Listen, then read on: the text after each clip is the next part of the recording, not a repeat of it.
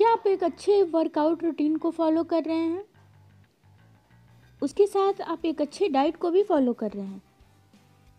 But after doing all these things you are not losing a single pound और आप बहुत ज़्यादा depression में चले गए हैं क्योंकि आप इतना सब कुछ कर रहे हैं, उसके बाद भी आप एक पाउंड भी लूज़ नहीं कर पा रहे हैं।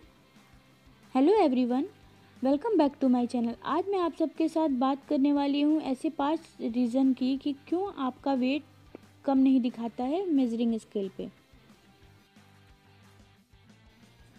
पहला रीज़न है न्यू वर्कआउट रूटीन जब कभी भी आप नया वर्कआउट रूटीन शुरू करते हैं तो इससे आपके जो मसल टिश्यूज़ हैं, उस पर स्ट्रेस पड़ता है। इससे उसमें इन्फ्लेमेशन आ जाती है। उसकी वजह से आप अपना वेट मेज़र करते हैं तो आपका वेट बढ़ा हुआ दिखता है। जबकि वो सिर्फ़ दो चार हफ़्ते में ठीक हो जाता तो है। ये वेट गेन बहुत ही नॉर्मल है और इससे घबराने की बिल्कुल ज़रूरत नहीं है। सेकेंड रीज़न है गेनिंग मसल मास आपकी बॉडी फैट लॉस कर रही होगी लेकिन अगर आपका डाइट सही है आप प्रोटीन ले रहे हैं आप स्ट्रेंथ ट्रेनिंग कर रहे हैं तो आप मसल मास भी गेन करेंगे जिसकी वजह से आपके वेट मेज़रमेंट में ज़्यादा डिफरेंस नहीं दिखाई देगा। बट इससे आपकी बॉडी ज़्यादा टोन दिखेगी और इन सच केसेस में आपको क्लोथ्स मेज़रमेंट भी लेना चाहिए। आप अपने कोई भी कपड़े को मेज़र कर लीजिए पहले और फिर कुछ दिन बाद उसको मेज़र करिए। अगर वो ढीला हो रहा है तो इसका मतलब ये है कि आप मसल मास गेन कर रहे हैं और फैट लॉस कर रहे हैं। तो आप फैट लॉस मोड में ही हैं तो इससे भी घबराने की बिल्कुल ज़रूरत नहीं है।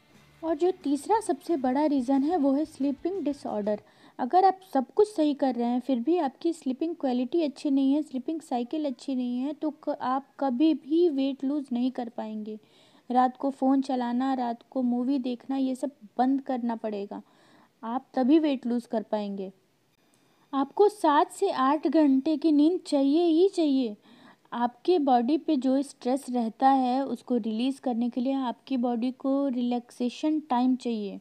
वो आपको सोने के टाइम ही मिलता है, आपकी बॉडी रिकवरी मोड में तब रहती है। तो आपको प्रॉपर रिकवरी चाहिए। इसकी वजह से आपको वेट लूज़ करते टाइम सोने का सबसे ज़्यादा ख्याल रखना पड़ेगा। And now fourth reason water intake water intake भी बहुत ज़रूरी है। एक दिन में हमें चार से पाँच लीटर पानी पीना चाहिए। तीन लीटर भी बहुत सही है, लेकिन फिर भी अगर आप वेट लॉस जर्नी पे हैं, आप मेहनत कर रहे हैं, आप ट्रेनिंग ले रहे हैं तो आपको चार से पाँच लीटर पानी ज़रूरी है। नहीं तो आपकी बॉडी वाटर रिटेंशन मोड में चली जाती है, जिससे आपका वेट ज़्यादा दिखाई देता है। मोस्ट इंपॉर्टेंट रीज़न जिस पे आपका पूरा वेट लॉस ही डिपेंड करता है, वो है not following a proper diet plan आपको ऐसा लगता होगा कि आप वेट लॉस के लिए एक सही डाइट प्लान पे हैं, लेकिन हो सकता है कि आप जो भी कैलोरी रिक्वायरमेंट है आपके बॉडी की, आप उससे बहुत कम खा रहे हैं, और नहीं तो उससे बहुत ज़्यादा खा रहे हैं। तो अगर आप वेट लॉस करना चाहते हैं तो आपको कैलोरी डेफिशिएट मोड में रहना ही पड़ेगा। तभी आपकी बॉडी वेट लॉस कर पाएगी फैट लॉस कर पाएगी। एक सही फिगर आप तभी अचीव कर पाएँगे। तो ये था पाँच रीज़न जिसकी वजह से आप वेट लूज़ नहीं कर पाते। Thank you so much